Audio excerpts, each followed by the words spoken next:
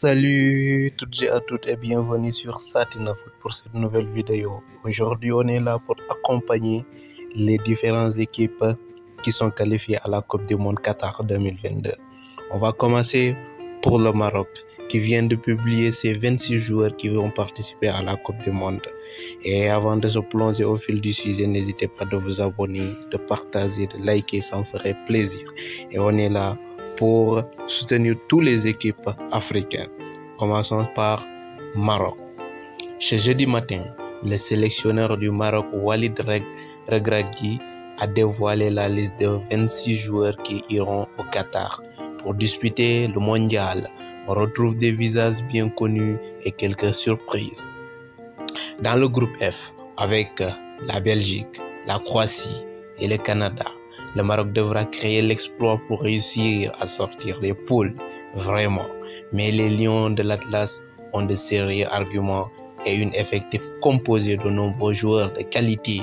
Ce jeudi matin, le sélectionneur marocain a dévoilé sa liste de 26 joueurs qui iront au Qatar dès le début de semaine prochaine pour se préparer avant le mondial.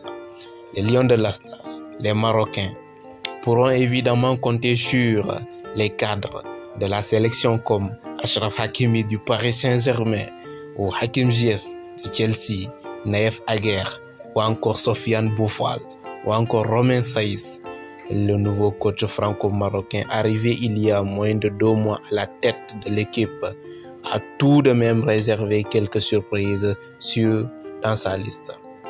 Sans tarder, on va parler un peu des joueurs maintenant sélectionnés. Les cases marocains seront sans véritable surprise, gardés par Yassine Bounou de Séville en Espagne, Mounir Mouhad Al-Wahda et Reda Tanyauti Waidad.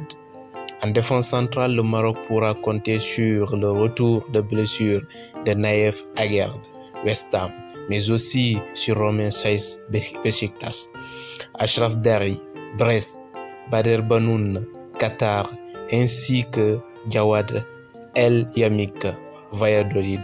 Sans surprise, Ashraf Hakimi et Nousser Mazraoui de Bayern Munich sont présents dans cette liste. Ils seront secondés par Yahya Aït Atal, Atallah Waidad. Le, le grand perdant de cette liste en défense n'est autre que Sami Maïn. Tout comme son frère en attaque, il n'est pas présent sur les 26 et voit donc son rêve de jouer un mondial avec son frère au milieu de terrain.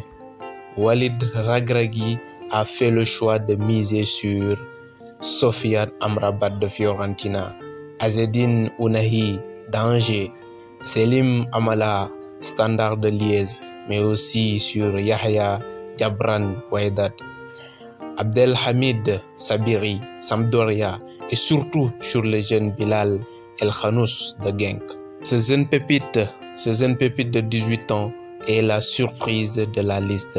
Il découvrira pour la première fois de sa carrière la sélection marocaine.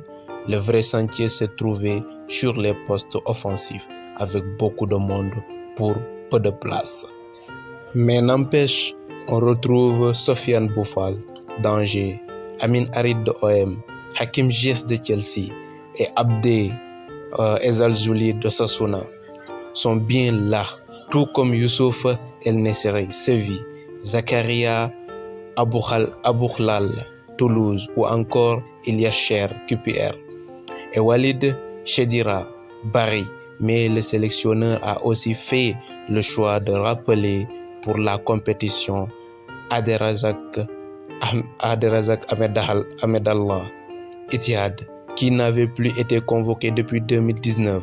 L'attaquant de 31 ans a conflit, en conflit avec certains joueurs avait décidé de ne plus revenir en sélection.